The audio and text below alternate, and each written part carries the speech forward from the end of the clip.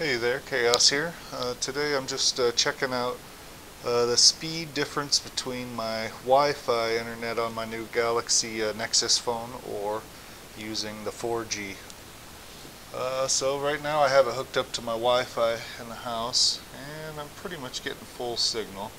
So we'll go ahead and uh, try it with this speedtest.net app that you can get off the Android market and my normal download should be about 20 and my uploads 5 so I have a few computers and stuff running so that could be why my download speed's a little slow.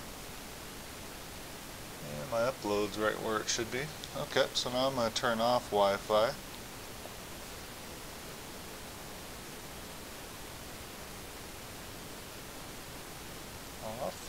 Okay, now we're running on the 4G network. Hit back.